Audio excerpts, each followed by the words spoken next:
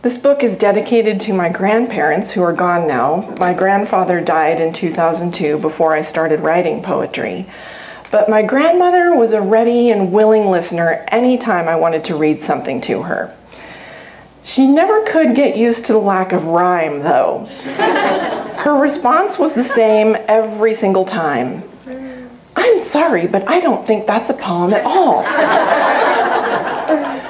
Granted, she did have dementia during her last years, so she would forget what I told her about narrative verse and free verse, and um, sadly, the kind of dementia where she forgot even some of the distant past.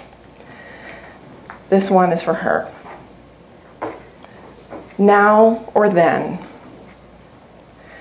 Grandma, just shy of 91, thinks she is 12 again, or maybe 20 asks for the hundredth time, Have you seen my folks? I'm worried sick. I haven't heard from them all day. Long dead when I was born, they live in black and white photographs, her stories.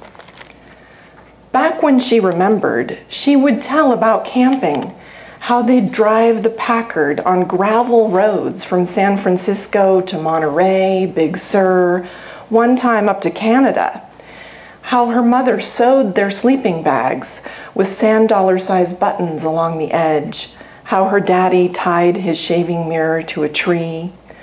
They slept in a canvas tent, stored meat in a basket lined with asbestos and tin, used milk, used milk bottles to hold water.